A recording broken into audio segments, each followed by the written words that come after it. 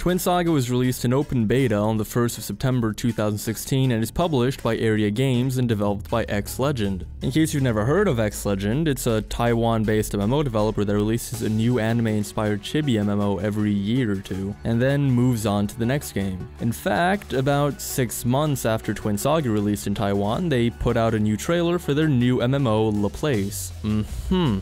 Alright then, Twin Saga has a tab targeting combat system that tries so hard to look and feel like it's action combat, to the point that it ruins what little combat mechanics it actually has. You have 10 classes to choose from and each class has 7 skills, 2 of which are common skills that can be used with any class. Each class also has 3 ultimate abilities, which are all the same.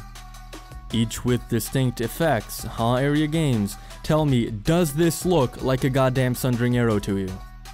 No, it doesn't. You don't use mana in the game. Instead, each of your 7 class abilities generates SP which can be used to activate your ultimate and Senshi abilities. Senshi are basically useless pets that do no damage and allow you to use special skills that also do no damage. Seriously, if I'm doing 15,000 damage, why is my pet doing 66 damage? The only thing they really do is give you stat boosts when they're equipped and upgraded, which is nice, but they're still useless as a pet. Aeria Games claims that this game has an endless supply of thrilling action.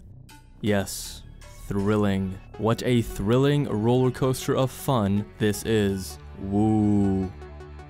It's just all so generic and lazy. The thing tab targeting games have going for them is their large pool of abilities to choose from, and you took that away. Where's the fun in that? But on the bright side, you can change classes without worrying about level and gear. All gear is universal, so you don't need a special set for each class. Class level also doesn't seem to matter for your base stats, it only matters for unlocking class abilities and class specialization points. Each class has two basic specializations and an advanced specialization that unlocks at level 42. These specializations increase your stats by a percentage based on level and give you passives such as healing when you crit or having a 20% chance to increase your attack damage whenever you use an ability. You also have Star Stones, which are basically just 12 gems you equip to your character. You can upgrade and evolve them, and they give a flat stat boost. Some of the rarer Star Stones have extra stat boosts, but nothing too interesting. Professions also increase your stats as you level them. The available professions are fishing, gathering, farming, alchemy, cooking, and crafting. You level the first three professions by, I shit you not, AFKing in front of the node of the appropriate level. Yeah. On the overworld, you'll see nodes of various levels placed around for fishing, gathering, and farming. Just go to the node of your level, right click, and AFK. Occasionally you'll have the chance to do a quick time event for some slightly rare materials, but that's really all there is to it. For the other three professions, you need to go to your Terra Cottage, which is your mobile housing. You can teleport to it by pressing H and choosing the main hall, greenhouse, or workshop. The Terra Cottage has a few NPC merchants for crafting, some crafting benches, and allows you to get quests from your Senshi. You can also place furniture in your Terra Cottage if you want to, though I didn't really bother crafting any. Really, you get all the stuff you'd expect from player housing. But it just all feels so lazy. Combat and gameplay is also boring and bland, and they try to cover it up with flashy animations and chibi anime graphics. It's like getting shot in the leg and putting a big band-aid over it. Yeah, you're not gonna see the wound as much, but you still have a goddamn bullet in your leg.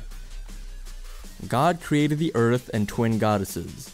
The twins disagreed over how to rule their people, and in the end, one lost her powers and fell to Earth. It's pretty much it, and it's pretty uninspired and the story and questing in the game doesn't get much better. For whatever reason, almost every quest ends up with you killing X amount of enemies or collecting X amount of an item. The absolute most generic questing you could possibly imagine. And the story and immersion isn't helped by the fact that most NPCs are just reskins. In fact, let's play a little game. Let's count how many reskins there are of these two guys right here in the starting town.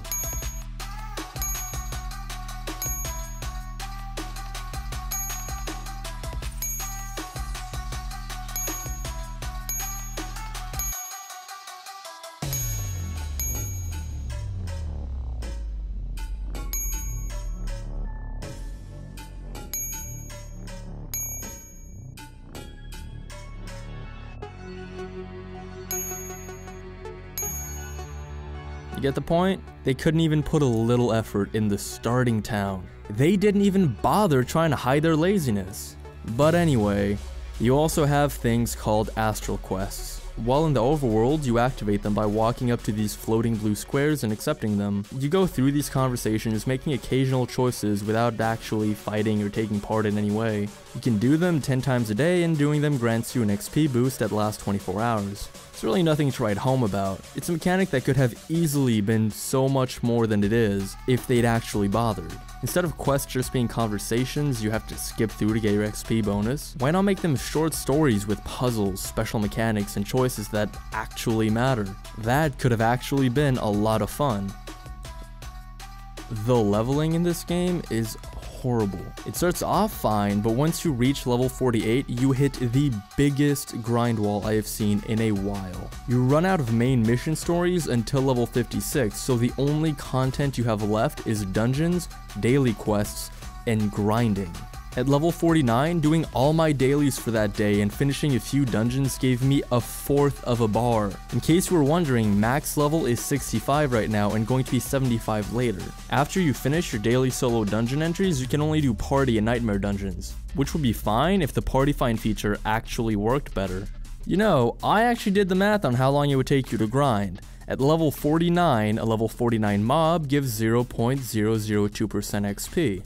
That's 50,000 enemies you have to kill, or 12,500 groups of 4 enemies. If you kill each group and find a new one within 10 seconds, it would take you 33.7 hours to level up to 50. It is absolutely ridiculous that that can end up being your only content. So as far as I can tell, here's how the game works. Early on, you gain experience very, very fast. The game does this to get you interested early on by constantly giving you positive reinforcement. You're leveling fast, getting new gear and mechanics, and classes are leveling so fast, it's easier to switch and try a new one whenever you want. By the time you hit level 48, you're invested. You've probably made friends in the game, joined a guild, and maybe spent some money. You don't want to give up now, so you power through it. And after a week or two of grinding, doing dailies, and farming dungeons, you finally made it to level 56. You finally get new missions, and these give you 6.4 million experience. To give you an idea, at level 49, you need 16,895,640 experience, and the average daily gives around 340,000. That's 50 quests you need to do to level up to 50, and you don't have that many dailies. At level 56, you need 195,150,000 experience to level up. And with the 6.4 million experience, that's 31 quests you need to do. You're hooked again. You start leveling faster and the grind is over until level 61. At level 61, the quest experience drops down to 4 million and you hit another grind wall. The game has to do this because there's no actual content. Grinding and farming dungeons is all the game actually has to offer, so the game uses this to make it seem like there's a lot to do. But trust me, there isn't. I couldn't play PvP. Trust me, I tried. I queued up constantly over the week, waiting over 40 minutes in queue, and I never once got in the game. Either no one is playing PvP, or the matchmaking is completely broken. Neither would surprise me. So, the endgame. As far as I know, there is none. The endgame seems to be more of the same. Level up other classes, max your profession to craft furniture and outfits, and do dungeons. Once you finish the grind wall, there's nothing left to do as far as I can tell. I'm sure this is going to get a lot of hate from people that actually like the game, and that's fine. Everyone's entitled to their opinion, but based on what I've played, I can't recommend the game, not even a little. There's so many other games out there that are far superior and it's just not worth the time in my opinion. And I think it's fair to say that I'm not going to be making a tips video for this game either.